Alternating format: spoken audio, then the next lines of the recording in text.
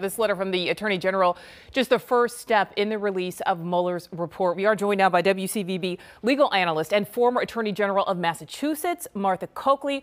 So, Martha, President Trump says this is a complete and total exoneration. Do you feel that's a fair conclusion based on the letter and wording from Attorney General Barr?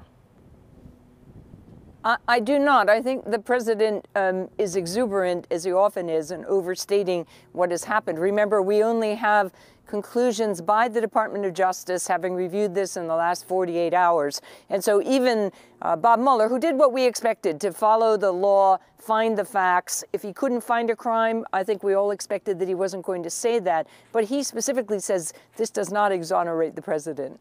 Okay, and Martha, should we take anything from the timing of this letter being released this afternoon, right about 4 p.m.?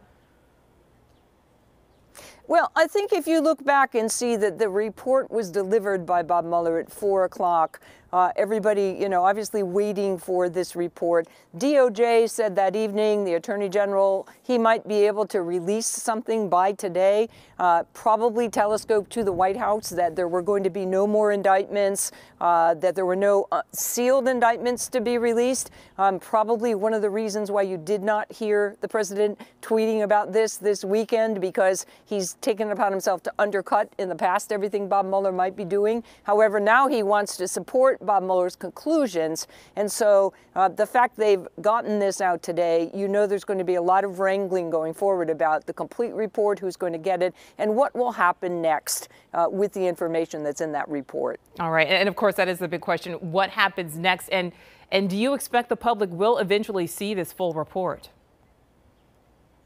I think they're going to see parts of it more than just the DOJ summary, but um, the Attorney General has already cautioned that a lot of the report may include what we call 6E material, that is, grand jury testimony. Uh, Bob Mueller used grand juries extensively. I have to think there's a lot of material in there that we may not see, even if we see conclusions. Uh, but I think what happens will, uh, with this report, there'll be additional congressional hearings. Uh, and then, uh, as you know, there are other matters that are pursuing uh, being pursued in the Southern District of New York. And, and don't forget, there's two attorney generals in Maryland and Washington who are pursuing uh, claims that the emolument clause, that is, that the president has used his own, uh, the, the office for his own personal and his family's enrichment. So those cases will continue against presumably even the president.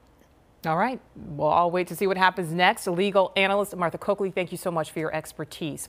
Now, of course, we will continue to cover this Mueller report and the reaction to the summary sent to Congress throughout the night. We'll have all the new overnight developments on the eye opener that starts at 4:30 a.m.